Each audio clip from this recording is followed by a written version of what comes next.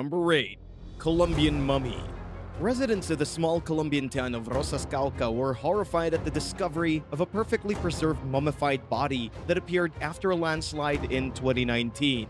After massive rainfall caused the landslide, it was made up to the local gravedigger, Florentino Torres, to clean up the mess, which meant he had to get his hands dirty retrieving coffins and bones from the vaults that were damaged during the mudslide. He was also working to prepare new graves for the bodies of other people killed in the new landslide. Along with some local villagers, Torres got to work unearthing bones and giving them to their distraught relatives so that they could have their loved ones reburied. But during the chaos, Torres was shocked to discover something bizarre the perfectly preserved body of a human with most of its skin and hair intact. Landslides are common in Colombia because the houses are built on steep hillsides, which can become treacherous during the country's rainy season. Even though the discovery was unsettling, mummies aren't uncommon in the San Bernardo area of Colombia, where bodies have been known to become naturally preserved. Wondering how that happens? Some think the local diet of guatila and balut, two indigenous fruits eaten in the region, could play a part. Others think that it's the local climate and altitude that act as a natural embalming agent, and with so many mudslides, it makes sense that some of the bodies trapped underground forever might later be unearthed, only to have been preserved where they lay.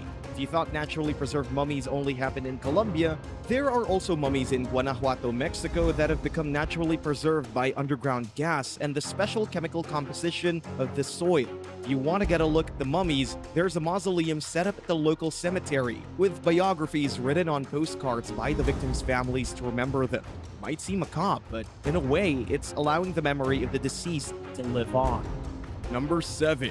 Cave of Horror in a remote cave in Israel, a remarkable historical discovery was made in 2021. The problem? It happens to be in the Cave of Horrors, a place known for the previous discovery of a large number of skeletons, mostly belonging to children. The cave was first discovered by archaeologists in 1953 and was later excavated in 1961 by Israeli archaeologists, where they unearthed more than 9,000 documents and 50,000 fragments of the Dead Sea Scrolls that took decades to fully excavate. The cave is one of eight in the canyon of Nahal Hever, used as a haven during a Jewish revolt against Rome. With an entrance 80 meters below the edge of the canyon and a drop of hundreds of meters below it, it's extremely difficult to access, which could be the very reason why this new discovery of more scroll fragments has remained hidden for so long.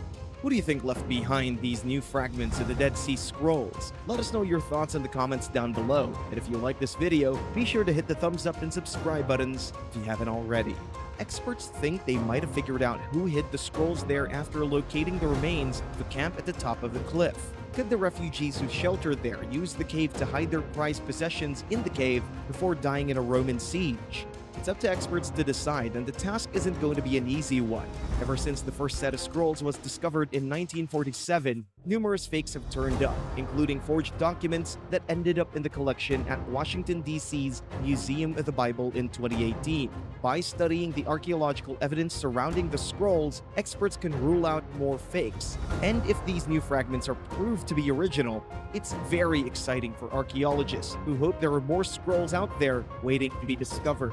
Number 6. Largest dinosaur footprint. In the remote western region of Australia, scientists have uncovered what they've nicknamed their very own Jurassic Park. While working in the area, they discovered 21 different types of fossil footprints, including one that's the largest ever unearthed. The stunning find included tracks from long-necked herbivores, two-legged ornithopods, and six different types of tracks from various armored dinosaurs. But the most exciting discovery was of the only known evidence of the Stegosaurus ever found in Australia. Over 130 million years ago, dinosaurs lived in the wet sandy region of the area's river delta, with other races of prehistoric creatures in Western Australia rare due to erosion find was a remarkable one. Experts spent 400 hours measuring and examining the prints, making models and silicone casts to display them in museums. Even though it took centuries for paleontologists to find the results, Australia's indigenous people have been sharing stories of mythical creatures they say once roamed the area, including one of Marala, an emu man who left large, three-toed tracks behind. The these fossils belong to the creatures that inspired this bit of indigenous lore? It seems like it. If it wasn't for the Gularabulu people, who were a group of Aboriginal Australians who alerted scientists to the presence of footprints, this very important part of Earth's evolution might have never been uncovered. Luckily, the area was given National Heritage status, which will help to protect these historic tracks and allow curious spectators to view them in their natural habitat. Number 5. Crocodile Mummy it's no secret that ancient Egyptians had some unique burial practices. From mummification to storing the organs of the dead in canopic jars, the culture is a fascinating one. Now, modern technology is helping to shed some light on these mysterious people, and research has revealed secrets that no one ever expected. Tourists to Egypt were often warned about buying mummified animals at Egyptian markets, and after seeing the results of a recent scan done by the National Museum of Antiquities in the Netherlands, you'll understand why. The museum has had a nearly 10-foot crocodile mummy on display since 1828. When the 2,500-year-old mummy was examined using X-rays and CT technology, the scans revealed the mummy was made up of not just one, but two different juvenile crocodile skeletons. Experts weren't necessarily surprised, since stories of fake mummies with bandages wrapped around random bones are often sold to unsuspecting tourists looking for a cool souvenir to take home. What the museum staff didn't expect, though, was to find out the mummy they had wasn't only made up of multiple crocodiles, there were 47 separate baby crocodile skeletons inside the mummy. Make the discovery even more fascinating, each of the baby crocodiles had been mummified before they were packed inside the larger crocodile before it too was mummified. If you thought it was a unique find, you'd be partially right. It's actually the second crocodile mummy found to have a secret hidden inside.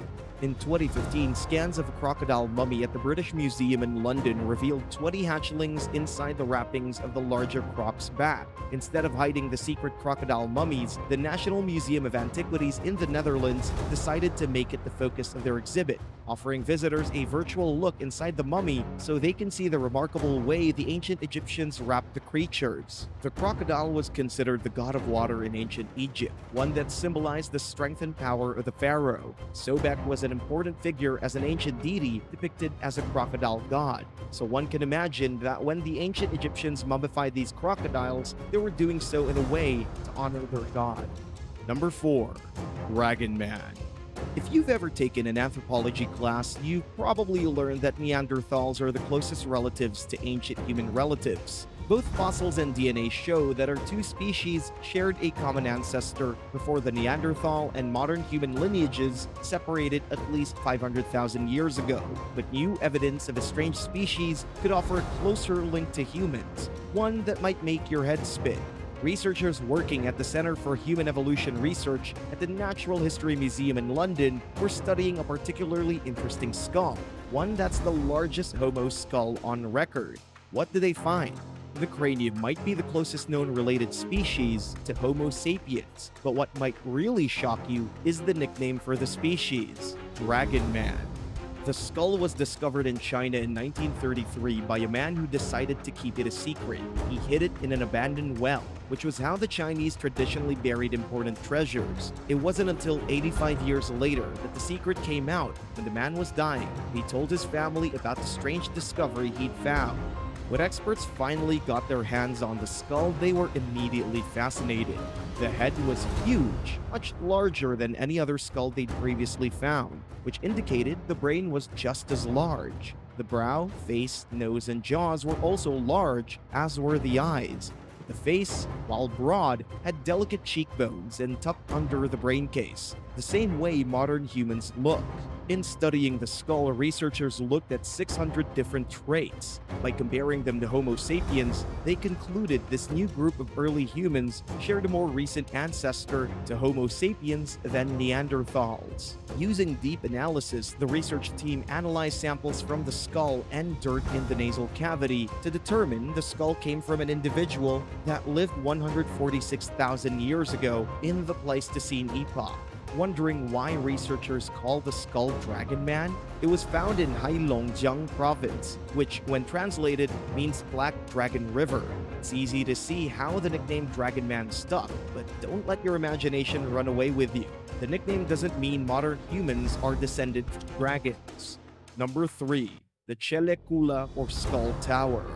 Many ancient cultures adopted some pretty strange practices to scare away their foes, from the Aztec death whistle that was used to summon spirits and create horror and fear, to various cultures that would put the heads of their enemies on spikes to show off their strength. These strange displays are sometimes shocking, but leave it to the ancient Turks to go one step further by building an entire tower of skulls to scare away anyone who might want to raid their camps. In 1809, the Turkish general Hurshid Pasha created the Ćele Kula or Skull Tower out of the heads of defeated Serbian rebels. At the time, the two empires were at war, with the Serbs outnumbered when Turkish imperial guards attacked. When the Serbian commander saw the dire conditions, he got desperate and fired a shot at a fully loaded keg of gunpowder in an attempt to wipe out the enemy soldiers. He was successful, but he also ended up killing his entire army at the same time. Angry that his enemies had taken out his troops, Turkish commander Passat decided to teach the Serbs a lesson. His men mutilated the bodies of the dead rebels by peeling off their skin, decapitating them, stuffing them with straw, and sending the bodies to the imperial court in Istanbul to boast about their victory. But that wasn't all. Using the skulls as building blocks, he created a tower near the main road into the city to warn the locals of what would happen to them if they ever tried to fight the Turks again. An astonishing 952 skulls were used to build the tower, but it was all for nothing. The Serbs rebelled again in 1815 and drove away the Turks to gain their independence and some of the family members of those who died in the fight decided to chisel away some of the skulls so they could give their loved ones a proper funeral. Only 58 skulls remain in the tower today, offering a glimpse into the tensions that once fueled such a gruesome act. Number 2. Midnight Terror Cave one day in the Cayo district of West Belize, a local farmer heard screaming coming from deep inside a cave. When the farmer rushed to the scene to help, he made a shocking discovery. 18 meters at the bottom of the cave, there were hundreds of smashed bones and teeth, so many that he couldn't even count them all. Expert bioarchaeologists were brought in to carefully analyze the remains, and when they did, they found almost 10,000 bones, teeth, and bone fragments that all belong to individuals no more than 14 years old. Radiocarbon dating on the bones indicated the bodies were dumped in the remote cave around 3,000 years ago over a period of about 1,500 years. The task is an impossible one for researchers who estimate there were a total of 114 bodies in what is now known as the Midnight Terror Cave. The discovery was so shocking because, for the most part, the ancient Maya only sacrificed adults. In fact, this was only the second time a large scale child sacrifice has ever been found in the land of the ancient Maya. The other incident was uncovered in a subterranean cave at Mexico's Chichen Itza, where the remains of 101 children and teens were found. Another chilling discovery made after analyzing the remains is that none of the children or teens was from the local area. That means they were all rounded up from far off places and brought there specifically to be sacrificed. Could it be a matter of ancient human trafficking? And why dump them there? It's no secret that the ancient Maya saw underground streams or cenotes as sacred places. And with droughts often stretching for almost 20 years in the region, the ancient Maya might have been so desperate for rainfall, they thought sacrificing the children would please their gods enough to bring them much needed rain. Whatever the reason, it was a chilling discovery, one that shows how ancient cultures relied upon the elements. In the Mayans' case, their desperation led to two very startling discoveries. Number 1. Mummy with smallpox. Could a deadly disease long forgotten be making a comeback? A team of experts analyzing the mummy of a child that died in the 17th century have uncovered traces of smallpox, a deadly virus that ravaged ancient Egypt 3,000 years ago. While studying the viral DNA extracted from the 17th century child, researchers revealed that the deadliest form of the smallpox virus emerged in humans around the time migrants flocked to the New World. The discovery was an accident, after spotting strange scars on the face of a child mummy found in the crypt of the Dominican Church with the Holy Spirit of Vilnius. researchers decided to take some samples in hopes of uncovering an obscure virus. They sent the sample to a lab in Canada. The results were completely unexpected. The sample was rich in variola, the virus that causes smallpox, which was eradicated in 1980. Most patients recovered from the infection, but up to 30% of those who contracted the disease died. By comparing the strain found in the child mummy to other samples on record, researchers found that the ancient infection was closely related to modern strains of smallpox. Even more interesting is that all 49 modern strains of virus could be traced back to a common ancestor that started between 1520 and 1654 CE, only 100 years before the child mummy lived. The team is still trying to figure out if this strain came from an animal host or if there was a mutation already present in humans that made it more deadly. The only way to find out if the virus was around even before the 17th century is to study more mummies to see if the virus could still be lurking and waiting to make a return.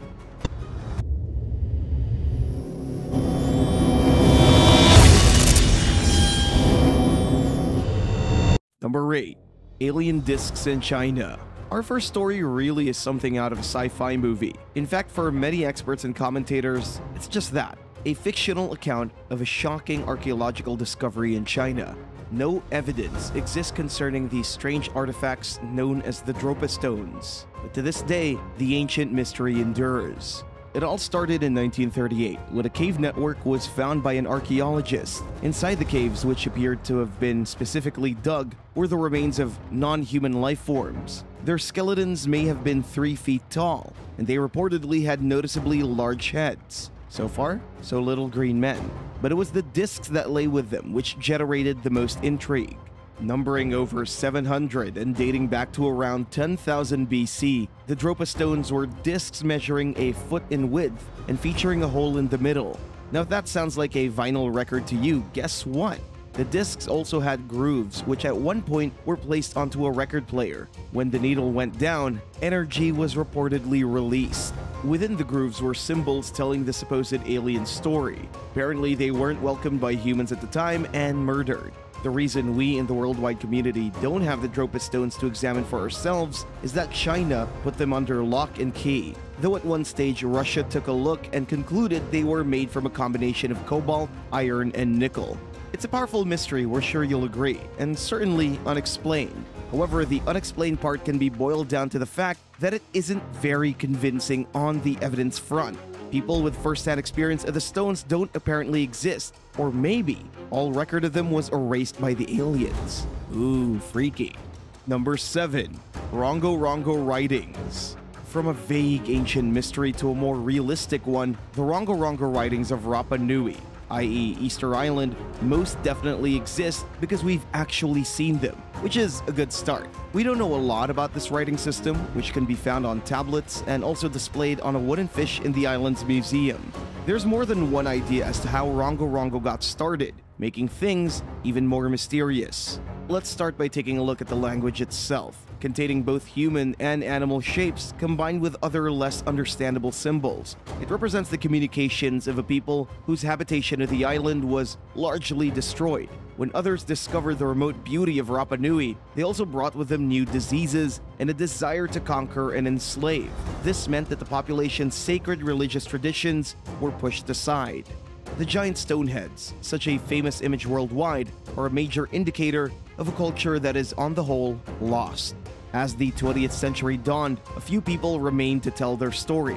While their remembrances were recorded by some, it's only a small fraction of the culture left behind. New Zealand linguist Steven Roger Fischer wrote a book on the subject. He believes the Rongo Rongo writings can be viewed through the prism of East Polynesia and its oral traditions. It's thought the first people to inhabit Rapa Nui came from that area. He refers to cosmogonies, which are origin stories of the universe and our natural world. Fischer believes the surviving examples of Rongo Rongo are part of this tradition. Furthermore, he theorizes that the symbols or glyphs are only part of the reading process. With a long-established chants, possibly providing more detail. It's a disputed view of Rongorongo, but nevertheless a fascinating one. Ultimately, the story is so elusive because we don't even know when Rapa Nui welcomed its first inhabitants. Did they land there as early as the year 800? And if they did, did they bring their writing system with them? Or might that have come later in response to later explorers and their own forms of communication? How will the mystery of Rongorongo be cracked? Artificial intelligence is being applied to the conundrum, but it's thought even modern technology will be stumped. It doesn't help that the original examples of Rongorongo were taken off the island, where they were created, of course. Number 6. Costa Rican Spheres an extinct people called the Diquis lived in the Central American country of Costa Rica between AD 700 and 1530. While they had a great culture at the time, many hundreds of years have passed. This means we have to rely on the archaeological evidence they left behind, some of which is maybe a little on the strange side, at least through our eyes. These are petrospheres, or stone that has been hammered into a spherical shape before being smoothed. Phew. It makes us tired just thinking about it.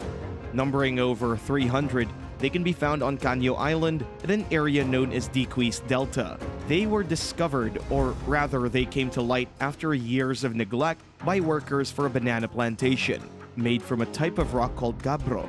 The balls measure from just a foot to 6.6 feet in width. It's noted that they appear to have been placed in areas that were significant to the Diquis. Apart from that, the jury is very much out on what purpose they served. Were they intended to suggest status, or did they just look cool? An interesting detail is that in accounts from the 16th century, explorers didn't mention seeing stone balls in the territory. You'd think that kind of thing might get their attention, right? We only have a vague idea of when the petrospheres were made and when they were arranged. Experts trace the first spheres back to the year 600 or thereabouts. Throw in the fact that many of the spheres have been moved, and that makes things even more puzzling. Whatever the story, we think you'll agree that they make for a beautiful sight, with a lot of work going into their creation. Mysterious, yet awe-inspiring. Number 5. The Emerald Tablet Remember how we talked about alien discs at the start of this video and how there was no physical evidence to back up claims concerning these mysterious items? Well, our next choice arguably puts that story in the shade. Was there really a green emerald tablet bearing symbols and inscriptions that, once understood, could transform humankind's understanding of life, the universe, and everything? Sounds like a fanciful concept, though the amount of famous names and places that are associated with the tablet, which is also referred to as the Smaragdine tablet, is mind-boggling. By the way, Smaragdine is a word relating to all things emerald. It isn't the name of some wizard, though it certainly sounds like it, right? When it comes to the all-knowing Emerald Tablet, there are definitely more questions than answers. In fact, you might say it's all questions, making it one of history's ultimate mysteries. What was on this powerful and revealing hunk of emerald? Was there more than one? We're thinking if it revealed secrets of the universe, then you're not gonna fit all of that on one tablet. One idea is that the tablet was created in the 5th century by the ancient Greek philosopher slash god figure Hermes Trismegistus. He was a pivotal figure in the field of alchemy, or turning matter into other stuff, such as metal into gold. However, it's also believed that he's an ancient legend from the time of the gods who never actually existed himself. So you can get bogged down trying to establish who the author was in the first place. Some think the Emerald Tablet was made in Greece, others Egypt. Atlantis is another possible source for this amazing artifact. As well as dealing with alchemy, the tablet enlightens readers on human consciousness, the power behind everything on planet Earth, and matter transmutation, basically transformation. According to records, it was translated into Latin back in the 12th century, and various notable figures have taken a look at it, including budding alchemist and human gravity detector Sir Isaac Newton, the Philosopher's Stone, which alchemist's figure is the key to gold production, and so forth, may well have an entry on the Emerald Tablet. Is the tablet partly a guide to making your very own stone? At the time of recording, we'll never know, because we don't have it to study for ourselves. Now, if you'll excuse us for a sec, this elaborate story has given us a headache think we might need to take a, you guessed it, tablet. Ah. Number 4. Stargate in Sri Lanka. You've heard of the TV shows and movies based around the concept of the Stargate. Well, here's the real-life version, or at least a rock carving, that's said to take people to strange and unknown places. It may date back to the First Kingdom of Sri Lanka, founded in 377 BC, or it may not. No one knows when it was created Of course, we can't vouch for this being an actual Stargate, but there are some intriguing details that just might suggest something cool and cosmic. Before we get into that, let's look at where the carving is located. You can find it in Sri Lanka, in the city of Anuradhapura, inside a huge park called Ranmasu Uyana. This translates as Golden Fish Park, and if you swim in the right direction, so to speak, you will spot this interesting feature on a rock face. As you can see, it has various symbols. The alleged rock stargate is packed with geometric detail, a series of concentric circles and rectangles with circles inside. Lines run across the carving, and there are representations of fish and other sea creatures around the outside. Meanwhile, people have also identified what they think are details such as weaponry and even an umbrella. What does it all mean? Experts and amateur detectives alike can't pin down the origin of the Stargate. Whilst the Buddhist monks of the area kept records on seemingly everything back then, this significant piece of rock isn't mentioned in their writings, which is kind of strange, right? Also, there are some seats carved into the rock opposite with the mysterious site, which is approximately 6 feet wide. Doesn't this suggest that you could sit there and study the Stargate, or could it just be an ancient version of a park bench? Who knows? Why are people so convinced it's a Stargate? Well, images depicted on the rock appear to be similar to those seen in other symbolic sites around the world. Though we should say nobody's managed to use these symbols to travel through the universe yet. Ultimately, it's believed the rock is a map, though whether it's of the cosmos or something else is anyone's guess. Number 3. Devil's Bible Now, this is not only ancient and unexplained but also eerie. Believed to have been written in the 13th century, Codex Gigas, or the Devil's Bible, is billed as the biggest book produced in the Middle Ages found to date. To give you an idea of the size, it's an ice-straining 8.7 inches thick and weighs 165 pounds. By the way, in case you're wondering what Codex Gigas means, it translates as, um, giant book. Okay, that clears it up. Contrary to what the title suggests, it wasn't written by the devil. It's believed to have been put together by a Benedictine monk called Herman the Recluse and spent centuries inside various monasteries. It was based at the Broumov Brotherhood between 1420 and 1594. At that point, King Rudolf II had a lend of it, which turned into a permanent loan. Well, we guess he can't say no to the king, right? During the Thirty Years' War, it went to Sweden after their army raided the city. Why does it have the satanic title? This is due to a striking full-length portrait of the Prince of Darkness wearing an ermine loincloth. It forms half of a spread with a heavenly image opposite, which appears to be a cautionary move, warning folk of the dangers of the dark side. The pages, numbering 310, are made of donkey skin vellum, making the tome even more terrifying. Did the author sell their soul so they could complete this epic book in a night? Hmm, possibly though another theory is it took up to three decades. What else is inside the Codex Gigas? Well, it's composed of various texts by other authors, so it's actually an omnibus. The book includes the Bible, plus first century historical works by military man Flavius Josephus, among others. If you're brave enough, you can go and check out the book yourself at the National Library of Sweden. Number 2. Lizard Overlords if you want an answer to some of history's most unexplained mysteries, you might want to consider lizard people as the cause. Yes, we're going full on conspiracy theory for our next entry. The idea that the most powerful and influential people in our society aren't so much people at all, but reptilian overlords. They've been on the planet for thousands of years, at least according to sports broadcaster turned New Age philosopher David Icke. He believes the lizard people, as they're dubbed by skeptics, arrive from the Alpha Draconis star system in the northern hemisphere. Not only are they shapeshifters, but they drink blood, making them tough to spot and also, we presume, dangerous. Although Icke was widely ridiculed for his statements on the lizard people, he isn't the first to talk about this general idea.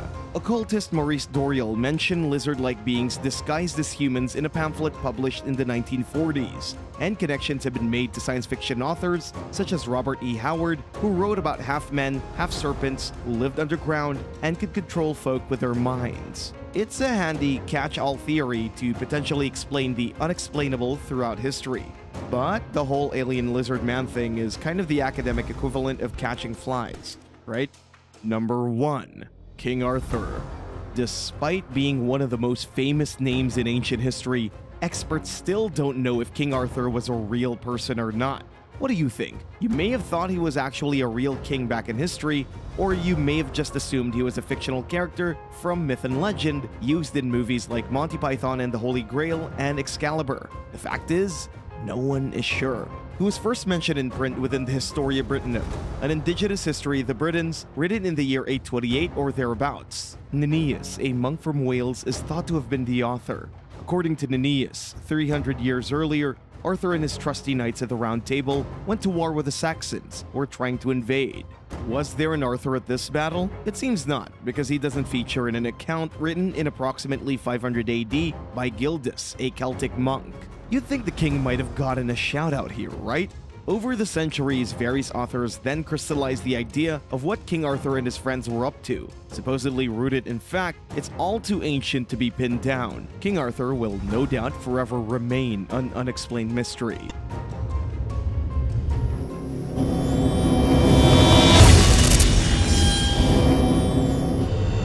Number 8.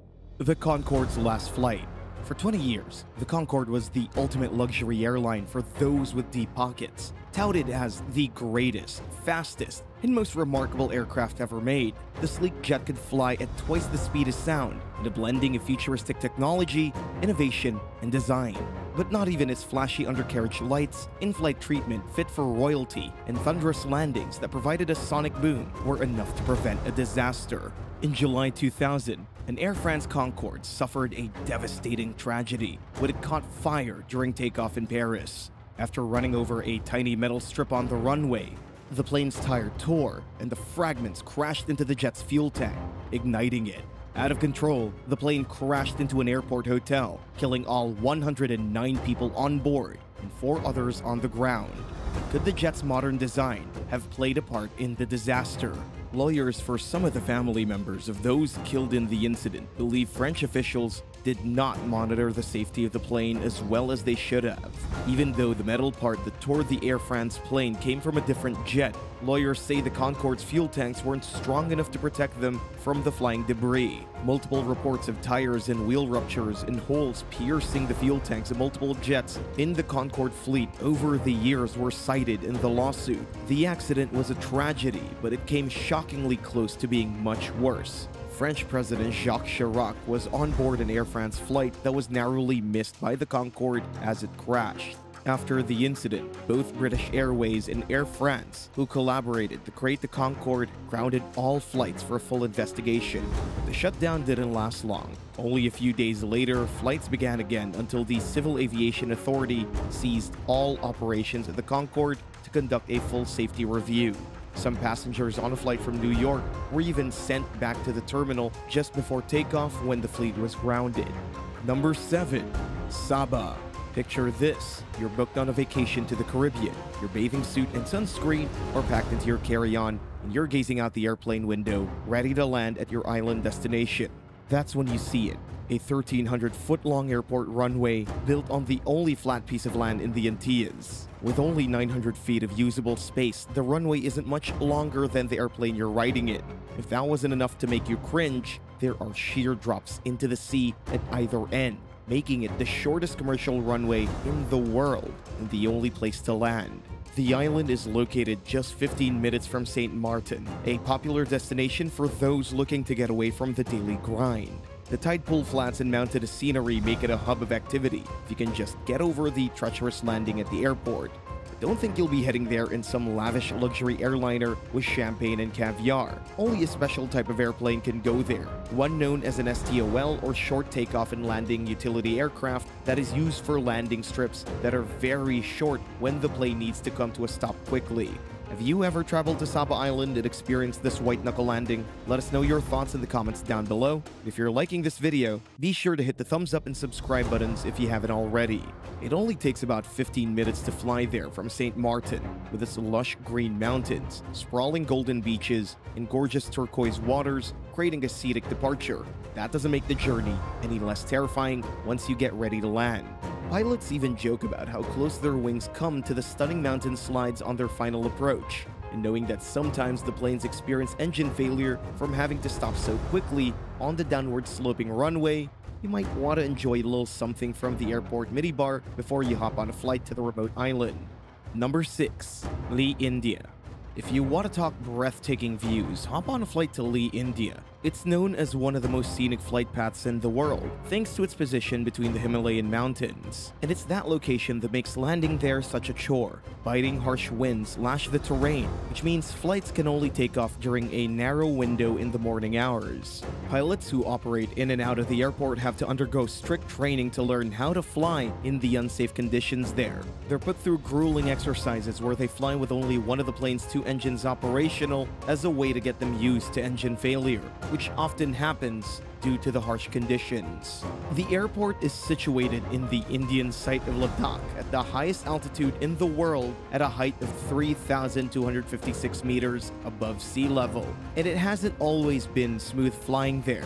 A few years ago, before one flight could take off from the airport on its way to Delhi, a dog ran into the runway, forcing the plane to abort its flight. Days earlier, another flight at the airport had engine trouble and had to be grounded by civil aviators. Number 5. Scorpion on board. Wonder why customs officials scan your carry-on luggage so closely? Maybe they're taking a cue from a terrifying incident that happened on an Alaska Airlines flight where an unwanted stowaway made the flight a living hell for passengers. Everyone had settled into their seats as the plane prepared to take off from Los Angeles to Portland. As the airplane was taxiing to the runway, something happened that caught everyone completely off guard. When passengers started calling for help, the plane's flight attendants scrambled to see what had happened they found a group of passengers around a woman in distress who had suffered an unexpected injury. A scorpion that had hitched a ride on the plane's previous flight from Mexico had stung her. Even after suffering a sting on her arm, the passenger didn't complain much. In fact, everyone was shocked at how calm she was. As it turns out, the Scorpion is believed to have hitched a ride in the carry-on luggage of a passenger from the previous flight. Luckily, one of the flight attendants was able to kill the Scorpion without getting injured, and the plane continued on its way. For those on board, one can only imagine it was a nervous flight when the plane took off half an hour after the incident. Even with news that the entire airline would have an exterminator inspect the plane when it landed, you can bet the cabin crew were busy with drink orders to calm the nerves of the passengers. Number 4. Cristiano Ronaldo International Airport the Cristiano Ronaldo International Airport might be the gateway to the stunning sunny hotspot of Madeira, Portugal, but it's also one of the most dangerous airports to land at. The archipelago or group of islands in the North Atlantic Ocean boasts stunning cliffs and idyllic beaches, with Madeira the most populous and densely populated of the group. The location of the island, though, could be the very thing that makes it so treacherous to land at. Harsh winds lash the site, situated 400 kilometers north of the Canary Islands and 520 kilometers west of Morocco. Over 3 million passengers a year travel to the remote location. They have to endure a harrowing journey that sees them travel through multiple different climate systems that create dangerous crosswinds. Pilots who fly into the location have to endure extra training which often comes in handy, as weather at the mountainous location can be unpredictable at best. They've also become accustomed to diverting their planes to the nearby Canary Islands when things get too rough. Since it opened in 1964, there have been a few notable accidents. In 1977, a Boeing 727 overshot the runway and crashed into a nearby beach, killing 131 of the 164 occupants. After the incident, airport officials extended the runway in hopes of preventing future accidents. That's another concern for anyone flying there, because the island is so small, the runway needed a concrete extension platform that juts out into the Atlantic Ocean. This, along with the special training needed to deal with known dangers during approaches, landing, or takeoff, have earned the airport the distinction as the History Channel's ninth most dangerous airport in the world and the third most dangerous in Europe. Number 3. Hot Landing Air traffic controllers were in for a devastating first-hand look at a dramatic landing when a Russian plane burst into flames upon returning to the airport for supposed technical reasons. Just after takeoff, the jet with 73 passengers and 5 crew members experienced some sort of malfunction.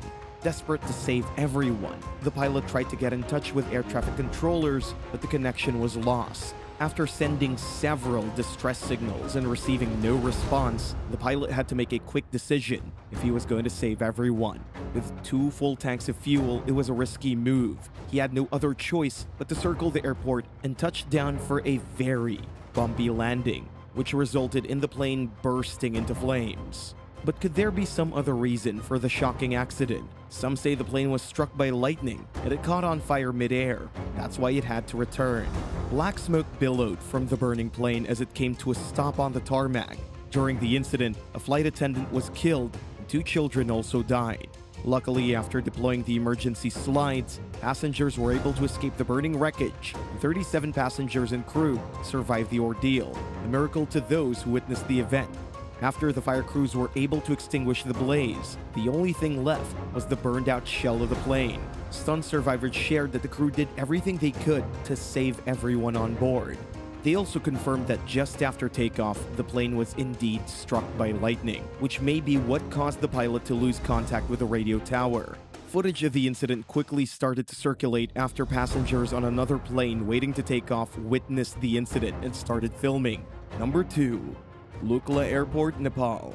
If you thought trying to climb Mount Everest was dangerous, you'd have to get there first, and from the sound of it, that's no easy feat. At 9,383 feet above sea level, Lukla Airport is the only way into the region, unless you want to hike in by foot through the rocky, snowy terrain and risk injury before you even get there. The tiny settlement sees multiple flights a day, and even though the journey from Kathmandu to Lukla is only 30 minutes, you'll feel like you're traveling to a totally different world. The problem is the high altitude of the location. Low air pressure offers challenges and dangers that you won't encounter at other locations. The travelers have no choice if they want to make the trek to the top of Earth's highest mountain above sea level.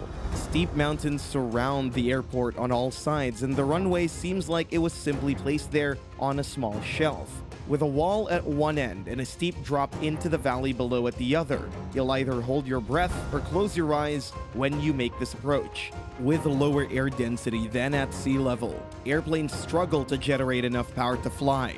The reduced air resistance also makes it harder for pilots to slow their planes down, so longer runways are a plus. Unfortunately, the one at Lukla is only 1,729 feet long, incredibly short when compared to most other runways and international airports that are usually 10,000 feet long. That means the runway had to be constructed with an uphill gradient to help the plane stop easier. Once aircraft make their approach, there's no way to turn back because of the tight squeeze between the surrounding mountains. This also means that only fixed-wing propeller planes and helicopters are allowed to land there. Another factor that makes Lukla so dangerous is the unpredictable weather. Number 1. Barra Airport, Scotland. If you thought jagged mountains, blinding snowstorms, and high winds were dangerous for potential pilots, take a look at Barra Airport in Scotland's Outer Hebrides. Located in the North Atlantic with less than 1,200 inhabitants, Barra is a stunning island with a scenic flight overlooking the lush landscape from Glasgow along the River Clyde, over Loch Awe, the Isle of Mull, and across the sea. Once you start your approach, though, you might be in for a big surprise. If you happen to look out the window over the choppy seas and across the dark hills ahead, you might start to panic when you realize the runway you're supposed to land on has mysteriously disappeared. Just 8 miles long and 5 miles wide, Barra is a tiny village with a butcher, post office, cafe, and a few houses near the port where the ferry bypasses the grassy sand dunes to come to rest in the bay, with no concrete or tarmac here to land on. Barra is the only airport in the world where flights land on a beach. Arrivals are timed according to the tide, so if you happen to be making your approach when the tide is in, you might not have a place to land. If the weather is really bad, pilots will make a few attempts to land, but more often than not, they end up having to divert back to Glasgow to try landing another day. And don't think that just because you landed safely, you'll make it out as easily. Thanks for watching. Which one of these flights did you think was the craziest? Let us know in the comments section below, and don't forget to subscribe for more videos like these. See you next time. Bye!